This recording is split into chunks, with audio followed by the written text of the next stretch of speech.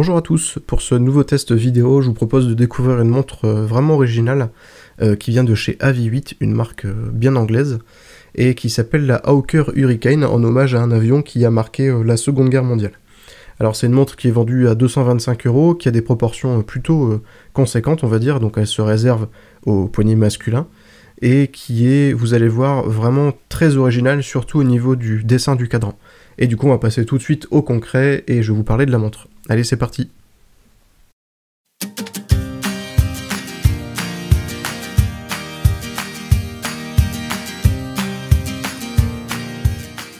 Alors au niveau du packaging, on a une boîte qui est assez simple, qui en fait euh, rappelle tout de suite l'esprit de la, montre.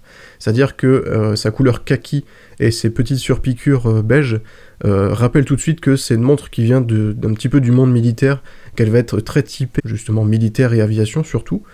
Euh, la boîte en elle-même est très simple, elle est rigide, elle est plutôt qualitative. Après voilà, c'est pas une boîte qui fait euh, très haut de gamme, mais euh, l'avantage c'est qu'elle va bien protéger la montre pendant le transport.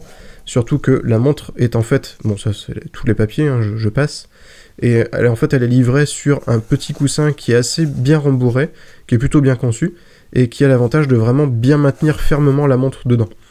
Euh, voilà, pour le reste, tout est très simple. L'avantage aussi de cette boîte, c'est que le fond ici, c'est une mousse qui est euh, assez dense. Donc je dirais que même si la montre est secouée pendant le transport, elle sera pas abîmée grâce justement à cette mousse ici qui va amortir les chocs et les, petites vibrations. Alors au niveau du packaging, il est plutôt joli, c'est une boîte qui reste assez simple, on reste dans des prix euh, accessibles, donc on a rarement des packaging vraiment extrêmes. Euh, mais, voilà, elle fait bien le job, elle est jolie, et elle annonce tout de suite la couleur d'une montre assez originale que je vais vous présenter tout de suite. Allez, c'est parti.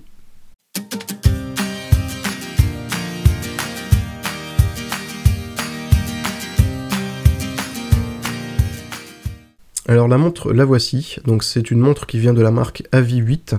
Donc c'est une marque anglaise en fait hein, qui, euh, qui, essaye de fédérer justement cet esprit euh, anglais et euh, elle est alimentée par un mécanisme à quartz. Alors par contre, je ne sais pas quelle est la marque de ce mécanisme, j'avoue que j'ai pas ouvert la montre pour vérifier, et en plus le site ne mentionne pas quelle est euh, la, marque de ce mouvement.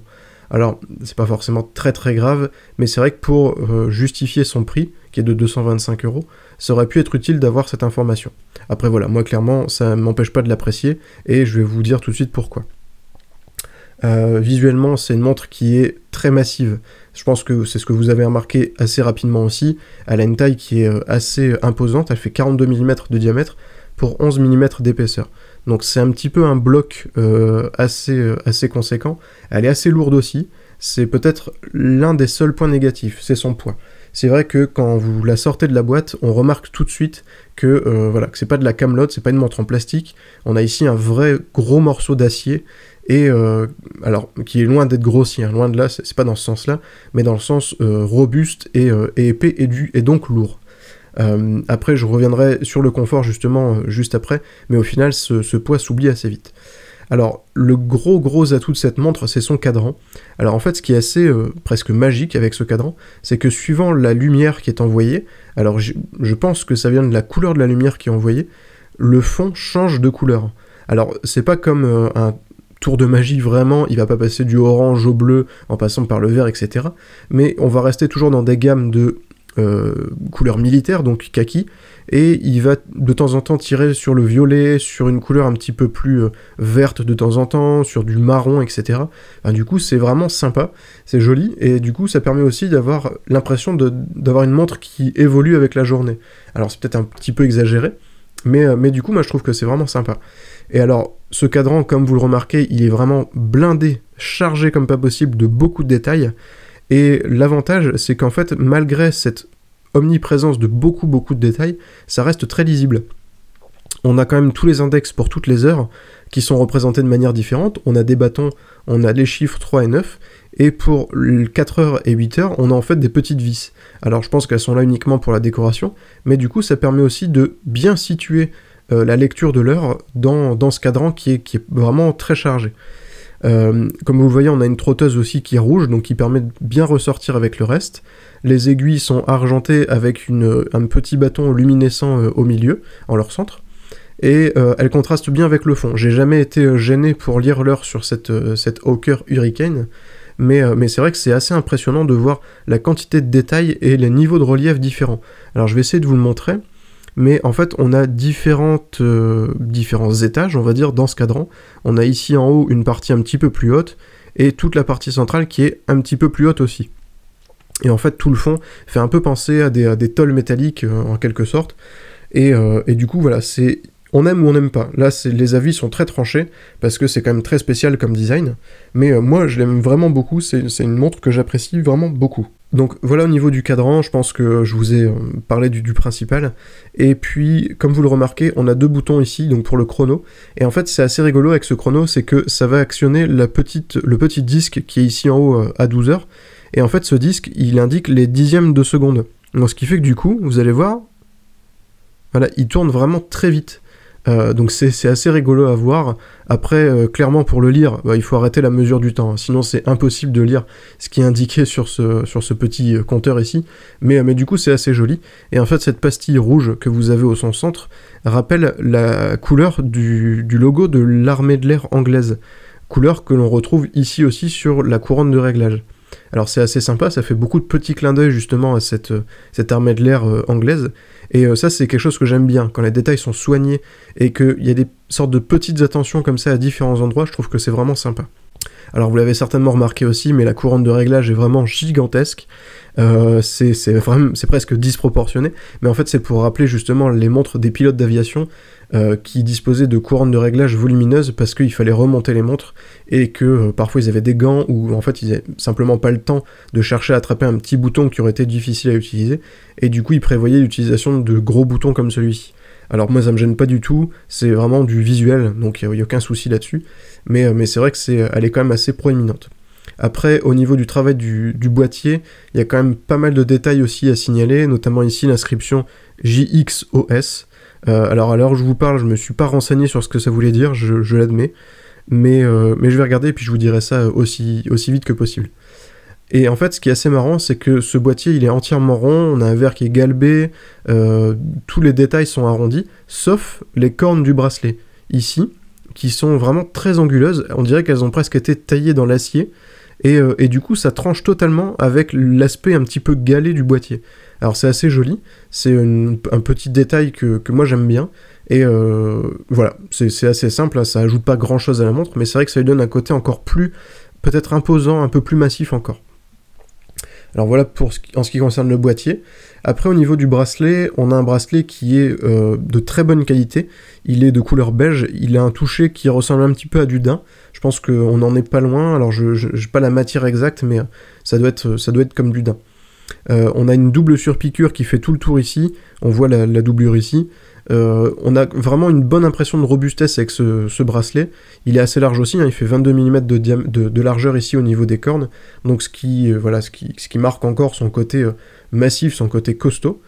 la boucle, c'est une boucle ardillon toute simple, mais qui est quand même gravée du logo AV8 ici. Donc voilà, c'est une très très belle montre, les détails sont nombreux et sont soignés. Et par contre, attention, elle est un petit peu lourde et un petit peu grande. Et ça, je vais vous en parler tout de suite dans le confort.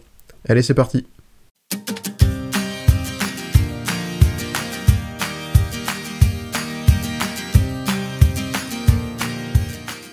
Alors comme d'habitude, pour vous parler du confort, je, passe la montre au poignet.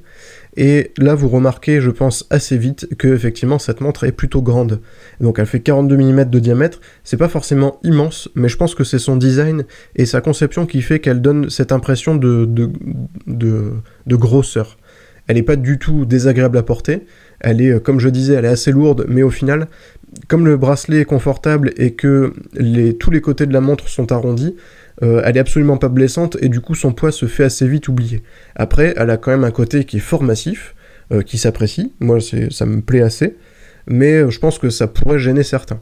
Après au niveau du bracelet, il est très bien, l'avantage c'est qu'on a pas mal de perforations et qui en plus sont rectangulaires et qui du coup s'ajustent bien avec cette, cette boucle ardillon. du coup, elle est facile à placer, elle est facile à ajuster, et vous n'aurez aucun problème, je pense, à la régler à votre poignet. Après, euh, voilà, comme je disais juste avant, il faut quand même faire un petit peu attention à son poids, qui est quand même assez conséquent. Si vous préférez les montres très légères, ben, je vous déconseille cette AV8 qui, euh, qui fait quand même son poids. Du coup, là, j'ai pas grand chose d'autre à ajouter au niveau du confort. Elle est vraiment agréable à porter, moi j'aime beaucoup, mais à condition d'apprécier les montres qui font un certain poids. Et du coup, on va passer tout de suite à la conclusion. Allez, c'est parti.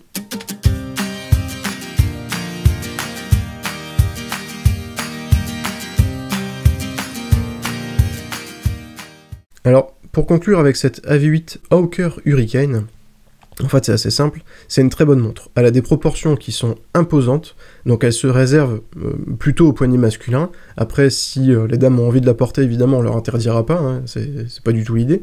Mais c'est vrai qu'elle a un style, un design et des dimensions qui, sont, je pense, mieux adaptées au poignet d'homme.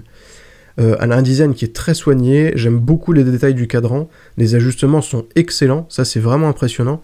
Euh, tout est de bonne qualité, le bracelet respire la robustesse, la boucle aussi, les ajustements sont excellents. Euh, voilà, c'est une très très bonne montre. Euh, l'avantage aussi, c'est qu'on a un chrono qui est précis. Donc si vous voulez faire des mesures justement de, temps et de façon précise, il vous donnera toutes les informations qu'il vous faut. Il est facile à utiliser, hein, c'est comme tous les chronos de toute façon. La remise à zéro, enfin la remise à zéro ici, le départ et l'arrêt ici. Euh, donc c'est une très bonne montre. Si vous appréciez son design, que vous n'êtes pas contre une montre qui fait quand même un poids assez conséquent, vous pouvez foncer sans souci, surtout qu'à 225 euros, ça reste un prix qui est euh, quand même assez accessible. Euh, voilà pour ça, j'ai pas vraiment de points négatifs, méfiez-vous juste de ce poids, j'ai déjà dit plusieurs fois, mais évitez les mauvaises surprises et, réfléchissez bien avant.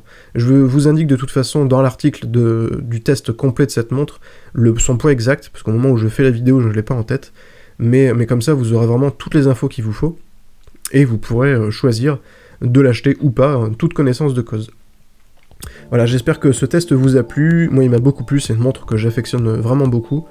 Euh, en attendant, n'hésitez pas, si vous, vous manque des informations, à me les demander, soit en commentaire de cette vidéo, soit sur Facebook, par email, etc. C'est comme vous voulez.